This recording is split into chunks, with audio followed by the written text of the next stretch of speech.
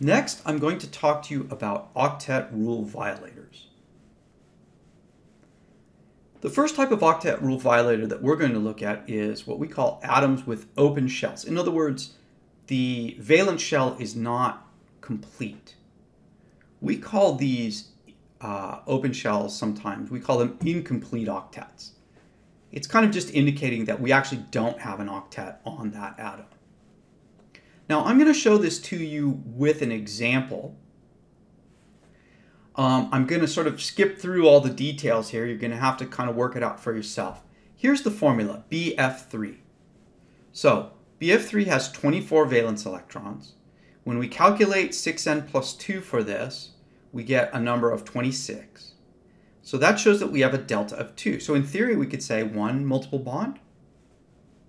So then we put boron, which is the less electronegative, in the center. We put the fluorines all around it. We draw in a multiple bond and we fill in remaining electrons. And we get a structure that looks like this. Uh, the boron is going to have to have a negative formal charge because it wants 3 and it currently owns 4. This fluorine is going to have to have a positive formal charge because it wants 7 and currently only owns 6. This might be our proposed structure. And we're going to see that this is actually, it's a valid resonance structure, but it's not really the best representation for a couple reasons. The first one is that if we look, fluorine is a very electronegative atom. So it doesn't make sense for fluorine to be giving an electron back to boron. Boron being an atom with a very low electronegativity. It makes more sense for it to pull this pair of electrons, not share it, and leave boron empty. Later on, we're also going to talk about Lewis acids, and we're going to see that BF3 is a classic Lewis acid, and in order to be a Lewis acid, you have to have an incomplete octet. So we generally believe this is the better representation right here. We leave boron with an incomplete octet, and when we calculate formal charges, none of these atoms have a formal charge. Now, um, there are some other justifications for this. For example, we've shown, it's been shown experimentally that the three boron to fluorine bonds are identical. They have the same length, they have the same strength, when we have a molecule with single bonds and double bonds between the same elements, the double bond bonds tend to be shorter and stronger. So having three identical bonds is more consistent with this structure than that structure where we have two bonds and then one that's different. Okay, so that's an example of an atom, a Lewis structure where there's an atom with an incomplete octet, an open shell, but the structure is a reasonable structure. And in general, we see this kind of thing with boron atoms in our formula and aluminum. So what you could do as a just a rough rule to start with, if you are doing a Lewis structure with a boron or an aluminum, and you calculate an unsaturation of delta 2, leave an incomplete octet on the boron or the aluminum. Next, we have atoms with expanded octets.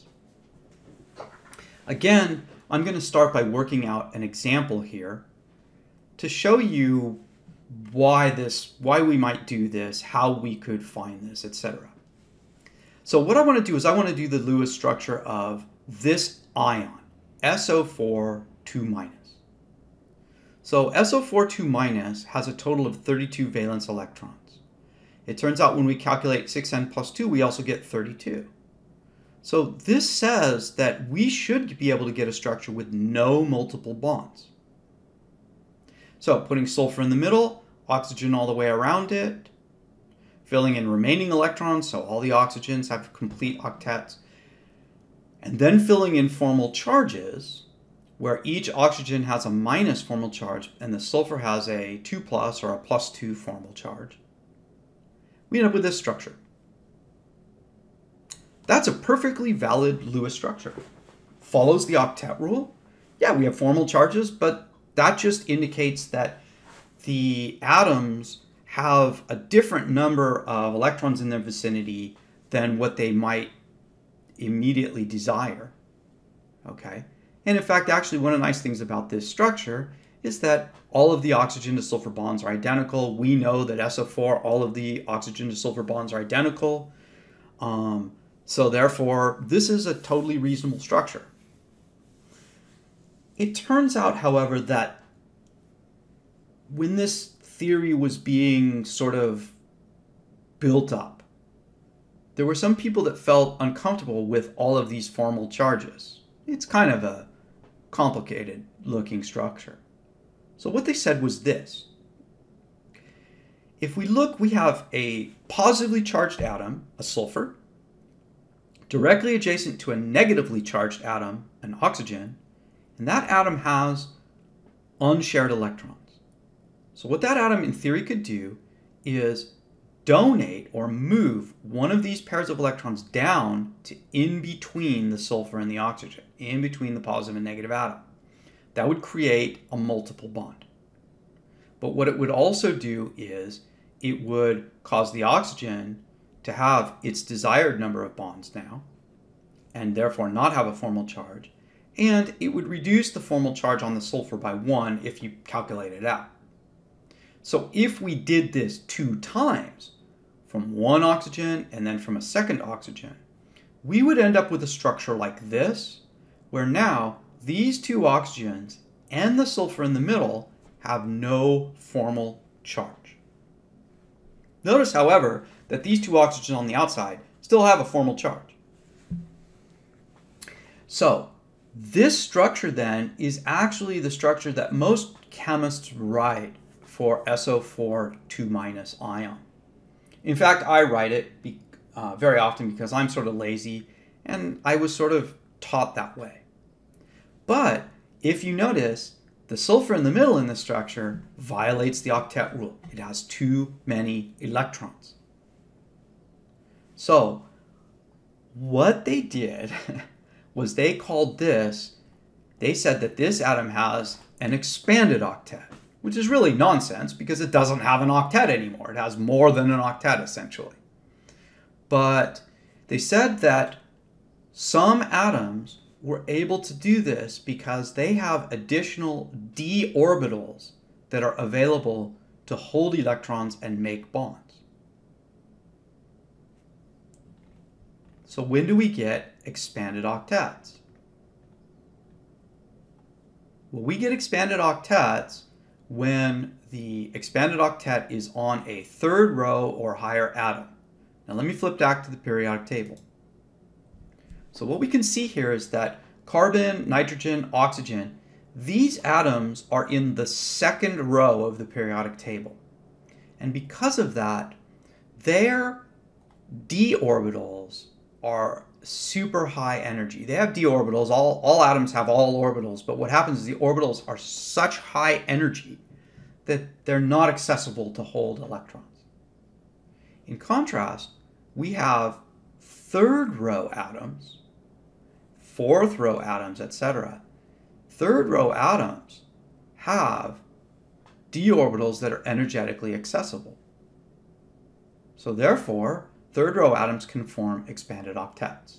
So we see that sulfur can have an expanded octet, phosphorus can have an expanded octet, but nitrogen can't. So we generally use expanded octets when we have a third row atom with a formal charge that's adjacent to an atom with the opposite formal charge. In that case, then we can move lone pairs to between those two atoms and form an expanded octet, and it reduces the formal charges on each side of that bond. However, we cannot have expanded octets on second row atoms or first row atoms. So specifically nitrogen. So if we look at this structure again, see this is a structure that we might think would have an expanded octet because here we have, we have an atom with a positive formal charge adjacent to an atom with a negative formal charge. You might think we could move a pair of electrons here and make that neutral, but that would give nitrogen 10 electrons, an expanded octet, Nitrogen being a second row atom cannot have an expanded octet. So this is the only structure we can draw. And so, therefore, really, expanded octets are not required under Lewis rules. They're just more something that people draw because they're more comfortable. And we don't have to use expanded octets in most situations. However, next semester we are going to see just a couple of examples where there are species with expanded octets um, that there's no other way we can explain the chemistry except for using expanded octets.